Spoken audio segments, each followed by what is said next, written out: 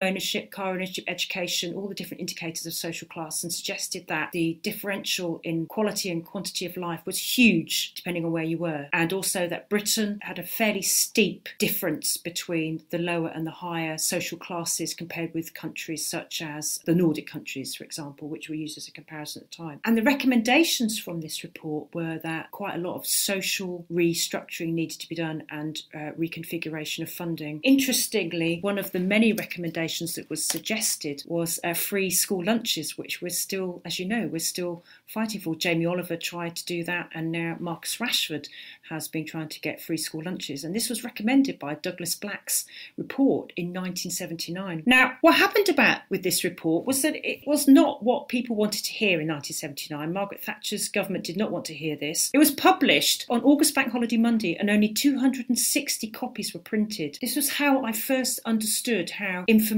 can be suppressed if it's not concordant with the prevailing view. And then this was updated in 1988 by uh, Margaret Whitehead in something called The Health Divide. And this actually showed that these disparities were increasing. And this has been repeated in the Marmot and Acheson reports. And we know that health inequalities are inextricably linked to socioeconomic gradients. This had a massive impact on me because it demonstrated to me at the time how marginal healthcare was on the health of the nation. And it reminds me now, and it's still, this evidence has been repeated all over the world in many different countries in many different ways, that actually healthcare can improve health, but actually it isn't the only thing. And that what we do as healthcare professionals is important, but it's only part of a much bigger story. And I think it's important that it helps us to remain, I don't really want to use the word humble, but to realise that actually, you know, the impact on people's health of what we do as healthcare professionals is important, but it's not the only thing. It reminds me of the day I met Julian Tudor Hart, actually.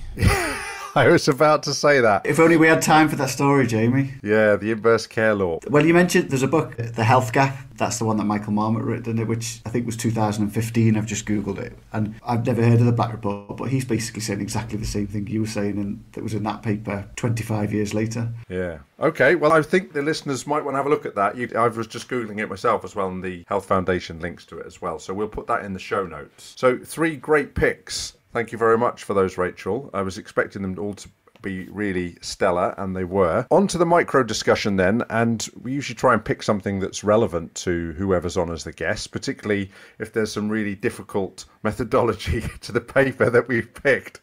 So, this is an opportunity also for me to get back in with the Australian listener.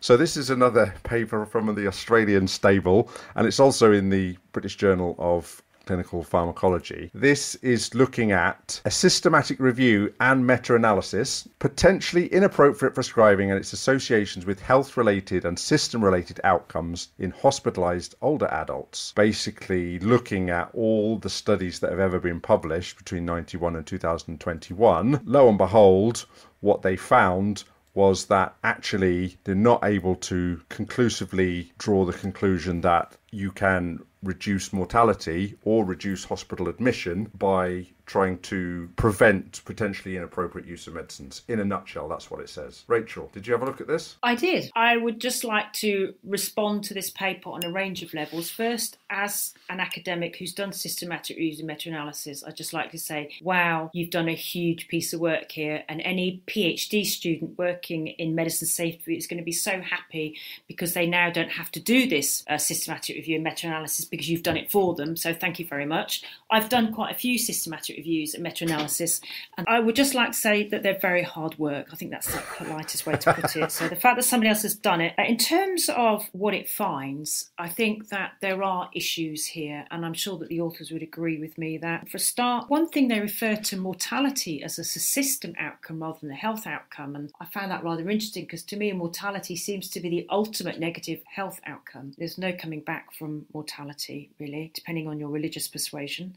They've also included cross sectional studies. Now, my experience of working in safety is that cross sectional studies aren't much use because your data in terms of exposure to the drug that's going to be the problem and then your outcome from the problem is measured at the same time. And actually, what you needed is a longitudinal study to look at the impact over time. So, this has been prescribed now. Okay, what happens in a year's time or in a week's time? You know, so you need a follow up study. So, I wasn't sure about how they'd done that. And also, one of the things that I wasn't sure that they had looked at was whether the studies themselves were empowered to find differences in outcomes. We do this ourselves. I'm the um, co chief investigator on a large program grant run by NIHR, and we're looking at uh, the impact of prescribing events that are high risk on patient outcomes. You need a very, very, very large data set to link a prescribing event to mortality. And I am sure that most of these studies are not powered to find that difference. So if they didn't find a difference, does it mean that there isn't a difference or that the study wasn't sufficiently well designed in order to find a difference? So that's one of the comments I would make about this. That's pretty much what a lot of the studies that I've looked at in the past around polypharmacy and deprescribing is that, as you say, there's too many confounders and you need a huge sample to be able to prove that it actually reduces mortality. And even hospital admissions, some have shown it, haven't they?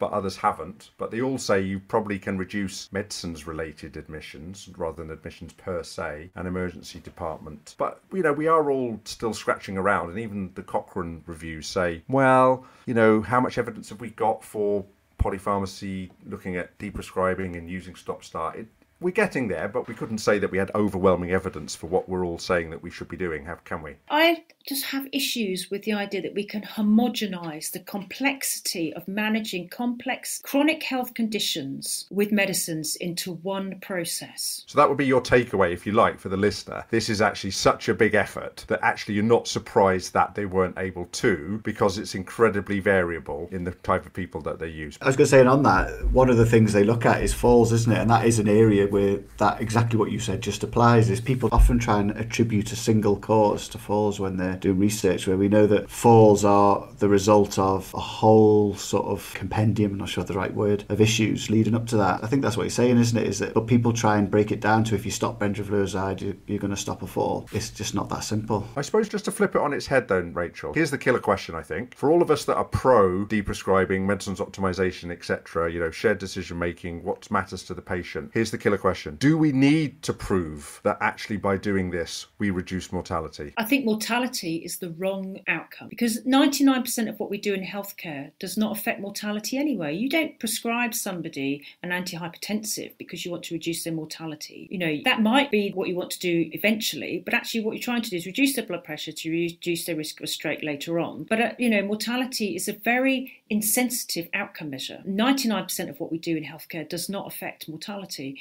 So, therefore, you need to think about your outcome measure. You also need to think about what you want to do with the information that you're collecting. You know, what do you want to do with this? What are you going to target from a study like this? There's a huge wide range of medicines here and a huge wide range of indications. How are you going to action this research? Should you not focus on a particular area? I was going to say one of the interesting lines in it was that PIP related, PIP was the term they used for potentially inappropriate prescribing. yeah. yeah.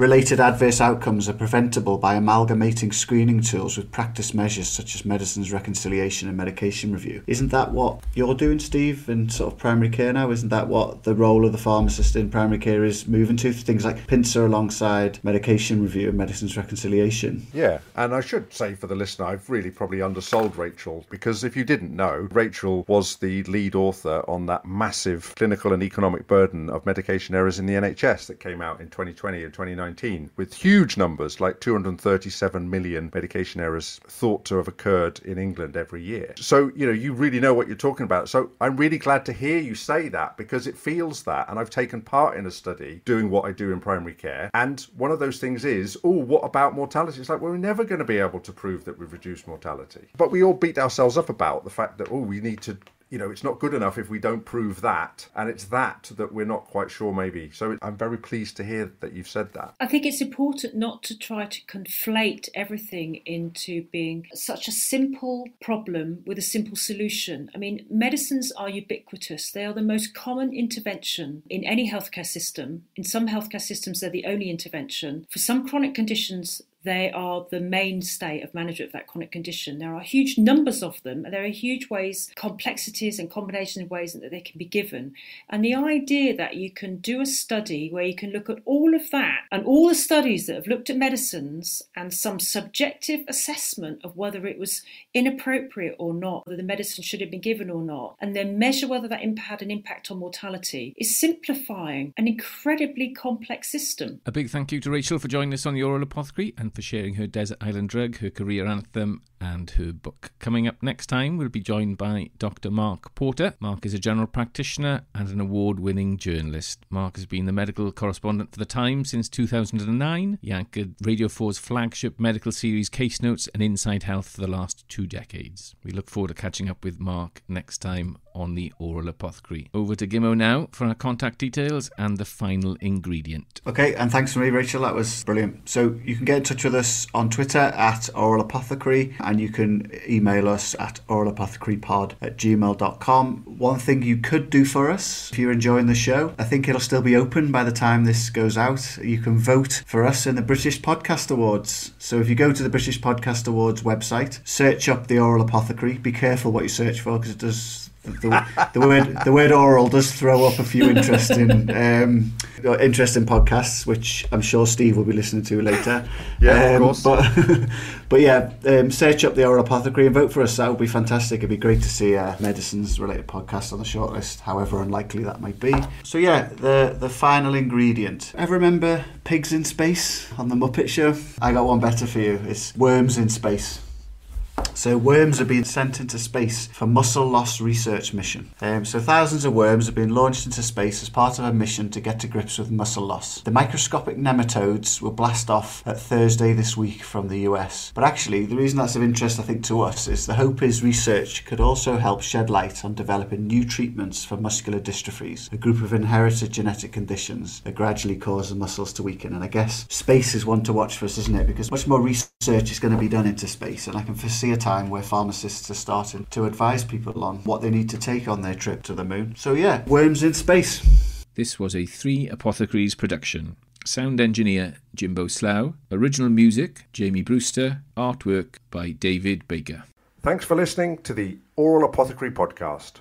Warning harmless if digested. This episode of the Aural Apothecary is sponsored by jamiehayes.co.uk.